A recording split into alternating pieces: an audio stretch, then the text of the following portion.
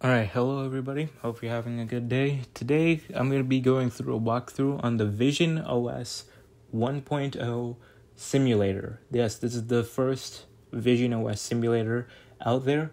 Now, if you want to try this yourself, you can do it if you have a Mac running Mac OS 13.4 or later. I just have this MacBook Air on 13.4.1.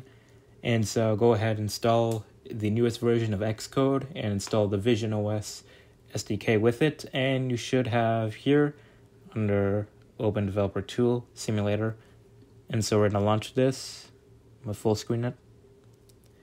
And here you go, you have the sounds. And here you go, you have this boot up animation.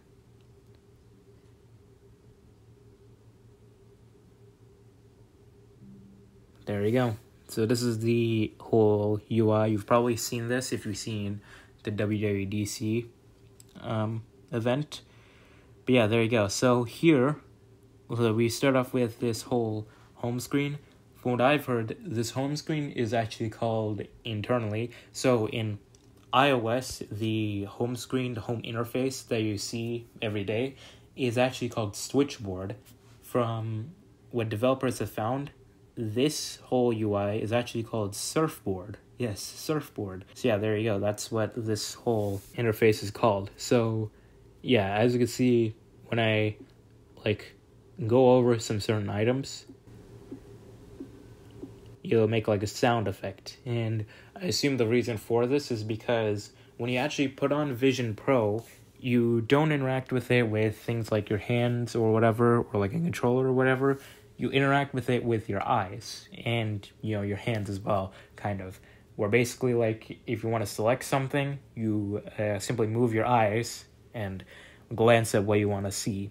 In order to select it just pinch your fingers and we'll launch up whatever it is. And so i'm pretty sure the sound effects are there so that you can uh, figure out where you want to actually select on first. And up here this little arrow thing it's very tiny but this little arrow thing is your control center so here you have your control center, kind of like what you are familiar with with your iPhone, iPad, and your Mac as well, and your Apple Watch as well, um, and your Apple TV, basically all Apple platforms. Um, so yeah, you have your control center. the sound effects are kind of loud there, but yeah, you have your control center. Um, it kind of looks familiar to what you can find in Mac OS, um, except it has some small subtle differences. So up here, yeah, you have some small things. You have uh, your date and time. You have uh, battery percentage here. And you have this little mode. This is your volume slider. This is your volume slider. And this is your home. This is your home button. Um, and up here, this is your actual control center. Here is your environment. This is your environment. So you can make it dark, which it looks like it doesn't really work properly right now. So we're just gonna keep it light. And then here is your notifications. Here's your notification center. Um, obviously there's no new notifications here because there's no apps in here because you know this is just a simulator. If if you're a developer developing for this whole um, OS, then you might make an app with you know um, your apps and notifications, things like that. Um, so yeah, there you go. That's the Vision OS uh, little thing there. So here you have, you know, your settings. Uh, the pre-install apps on here is settings, freeform, Safari, photos, files, and these compatible apps, which are these are all iOS apps. So these are all from iOS. And so there you go. That's all the apps right here on the home screen. Over here is your people. So you can FaceTime people directly from here. And here's your environment. So in your environments, you can select where you want to be. So here you have your mount, you have mount hood, summer light. Looks like these don't really work properly right now. Either that I'm not really doing anything um, that makes them work. But yeah, all right. Let's open up an app. Let's open up settings. There we go. So you can actually move the app with this little like indicator bar at the bottom. it sort of reminds me of like the whole gesture bar on iPhone 10 and later, which is kind of cool. Um, so here you, it's a very familiar, you know, settings interface. You simply just uh, use this, scroll up. I don't know exactly how you scroll up with um, the Real Vision Pro headset. I assume you use it with like your fingers. Um, but yeah, you simply scroll up. On here, the simulator, you have to click and drag. Um, and if you move around with your mouse on the simulator with two fingers, it will just uh, move around the environment, which is cool. So here in Bout, you can see that uh, this Vision Pro, its the name of this uh, thing is Apple Vision, Vision OS version 1.0, and the build of this version is 21N5165G. And yeah, there you go. You have your model number, Apple Vision Pro, and all that stuff. These are just specs of my. Some of these specs are just Mac, so like the storage here and things like that. And so there you go. So you have your keyboard here. Um, this is very familiar to like um, your iPhone or your iPad, and I guess also your system settings in Mac. Um, and you have transfer reset, this Apple Vision Pro. So this is sort of again like iPhone and iPad. Um, looks like it doesn't really work properly right now, but you know that's whatever. Um, and here you have these app things right here. You have compatible apps. You have your people, environments. So you can set up. You can increase the volume of your environment if you want. Um, you can change the uh, appearance of them so it's sort of like dark mode and light mode on uh, iOS and you know the Mac and all of our Apple's platforms, iPad OS. Um, so it's sort of like that in a way. You have your notifications. Here you have you know your focus modes, um, very familiar. Screen time, and you know a whole bunch of other stuff. Control center. You can customize your controls here as well. Siri and search. Um, and you know accessibility, all that stuff. You know you're very you're very familiar with all this stuff. It's a very familiar settings interface. It's just slightly different for this whole thing, and you have you know some changes right here. Your crown button, pointer control, all that stuff. You know crown button. This is what's on your uh, Vision Pro headset. You have your display, so you can increase the brightness and lower it as well. You can adjust the brightness here. You have your bold text, text size, and your display zoom. You have compact and you have zoomed. So yeah, there you go. That's the settings app, and in order to close out, you just click this X button, this X button, and there you go. So let's take a look at Freeform in here. Freeform. This is very interesting to have on this headset. Um, yeah, welcome to Freeform. Let's say continue. And yeah, I assume you um, interact with this just by um, using your fingers and things like that. So you simply just set in a shape. Yeah, so I assume you um, drag this on your fingers in, in the Real Vision Pro headset. Right now it's just sort of, you know, your mouse and things like that. And you have markup. So we can like markup on here. So yeah, Safari. Um, obviously if you the default web browser on all of our Apple platforms. This one is um, now on the Vision Pro. Now, interestingly enough, we got a keyboard that just showed up there. You kind of saw that. So here, if we click on that, oh, whoops, there you go.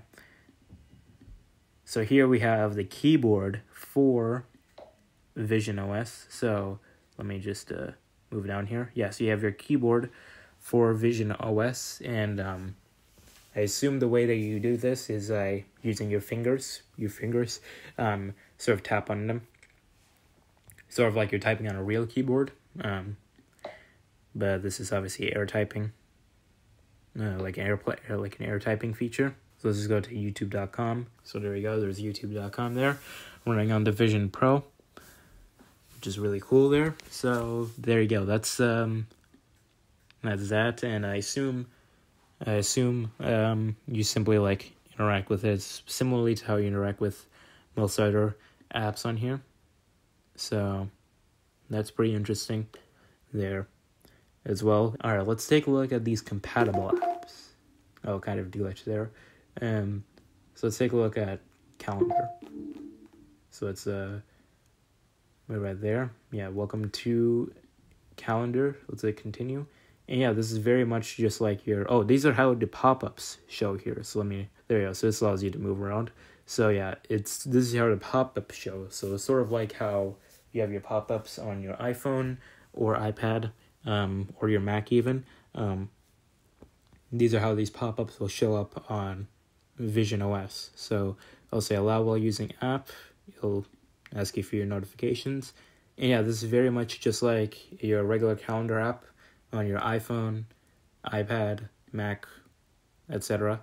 Yeah, this is very familiar here. So this is very familiar. If you use the calendar app on normal Apple devices, you probably know how to use this. You probably know how to use this calculator or calendar app.